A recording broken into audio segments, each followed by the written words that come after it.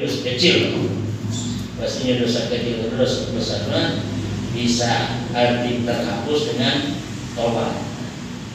Dengan tobat itu samping pahala yang begitu banyak kita sholat duha.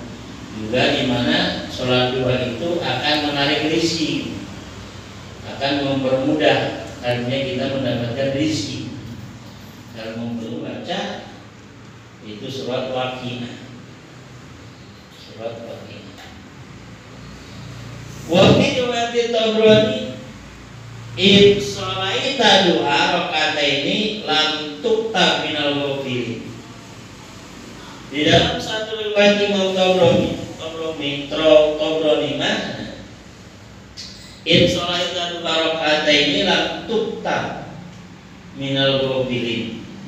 Jika kamu sholat duha maka kamu tidak ditulis termasuk tidak termasuk orang-orang yang lupa tidak termasuk orang-orang yang suka lupa. Baca itu surat waqiah surat waqiah wa fi riwayat Tabrani in shalaita duha rakaataini lam tukta minal ghafilin di dalam satu riwayat Imam Tabrani Tabrani Tabrani mana In sholaita barokata ini lam tukta minal gobilin. Jika kamu sholat duha dua maka kamu tidak ditulis termasuk tidak termasuk orang-orang yang lupa, tidak termasuk orang-orang yang suka lupa. Sahabat dan karena Allah ayat taliban lil ajri minallah jadi hanya mencari pahala dari Allah.